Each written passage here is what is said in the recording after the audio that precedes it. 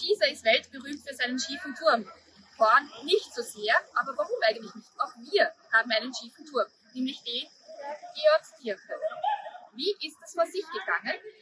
Es hat drei große Stadtbrände in Horn gegeben, wo sehr viel von der Stadt abgebrannt ist. Und beim letzten großen Stadtbrand 1827 ist auch der Kirchturm der Georgskirche abgebrannt.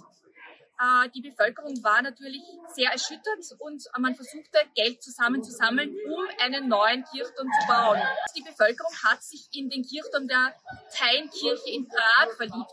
Das war ein Turm mit einem Mittelturm und vier Ecktürmchen. Und genau so einen wollten die Horner auch für ihre Kirche haben.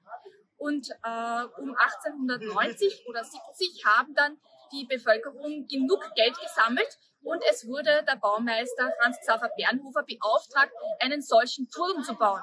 Nun, das geschah auch und wir sehen ihn auch hier. Allerdings, und das hat man nicht bedacht, war das Fundament dafür nicht geeignet. Es war zu schwach, denn der vorherige Turm war nicht so hoch wie dieser. Und dadurch hat sich das Fundament gesenkt und der Turm wurde schief und schiefer. Ähm, bis zu 1,60 Meter war die Neigung Richtung Westen. Und da gab es einen sehr lustigen Ausspruch. Es gab nämlich gegenüber von der Georgskirche das Milchgeschäft Trimmel. Und so ging der Spruch, alle Kirchen neigen sich zum Himmel. Nur nicht der in Horn. Der neigt sich zum Trimmel. Gut. Äh, Im Zweiten Weltkrieg waren die Russen mit ihren Panzern hier äh, festgesetzt.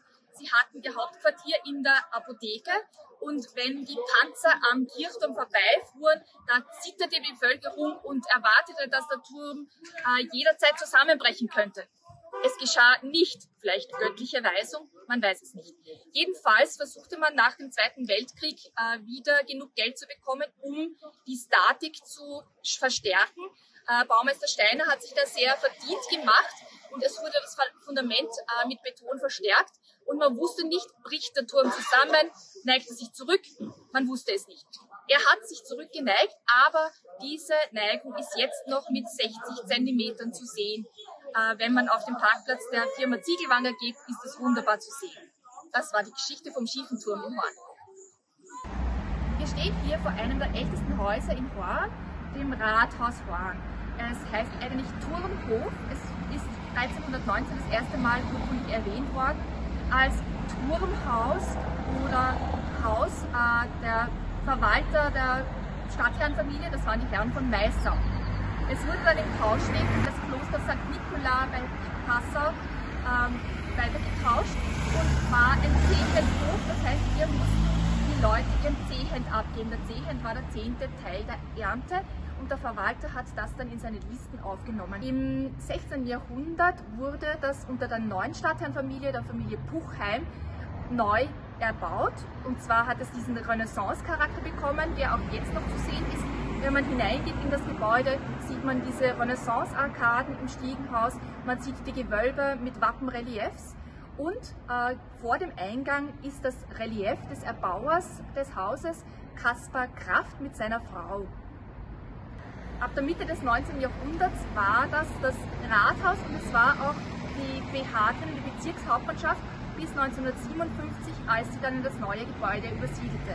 An dieser Ecke sehen wir noch ein bedeutendes Relief, das zeigt die Aufgabe der Leiteigenschaft durch Kaiser Josef II., einen der großen aufgeklärten Kaiser des Landes. Und interessanterweise wurde dieses Relief gestiftet von Georg Ritter von Schönerer Ende des 19. Jahrhunderts. Das ist unser Rathaus. Das Graffito-Haus in Horn ist eines der bedeutenden Bürgerhäuser im Waldviertel. Da gibt es sehr viele Graffito-Häuser. Wie kam das vor sich? Das Graffito ist eine Technik, äh, die aus Italien in der Renaissancezeit kommt und die Bürger waren stolz darauf, wenn sie solche bemalten Häuser zeigen konnten. Äh, dieses Haus wurde in der Zeit der Stadtherren Bruchheim äh, gebaut unter Veit Albrecht von Bruchheim. Es ist die Jahreszahl 1583 sein Wappen auf dem Sgraffito-Haus zu sehen. Äh, die Bilder zeigen Allegorien von Sommer und Herbst. Sie zeigen verschiedene Szenen aus dem Alten Testament mit Hiob, mit Josef, mit Abraham. Äh, was lustig ist, das sind die zehn Lebensalter des Mannes. Das muss man sich einmal genauer anschauen. Da wird jedes Lebensalter mit einem äh, Tier verglichen. Das ist sehr lustig. Gebaut wurde es unter dem Baumeister Dionys Zirk. Das war einer der großen Fernhändler der damaligen Zeit.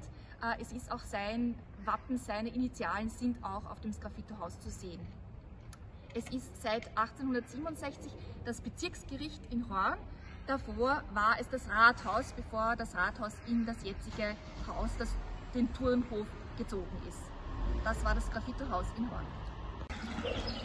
An dieser malerischen Stelle Wassergeplätscher, Vogelgezwitscher kann man sehen, dass äh, das Rathaus erweitert wurde durch ein zweites Gebäude, das angekauft wurde. Das befindet sich hier und hier ist das Stadtarchiv drinnen mit Dr. Rabel als unserem Stadtarchivleiter.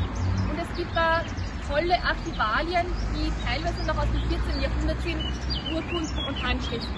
Und es ist wirklich sehenswert, wenn man einmal Dr. Rabel einen Besuch abstattet im Stadtarchiv.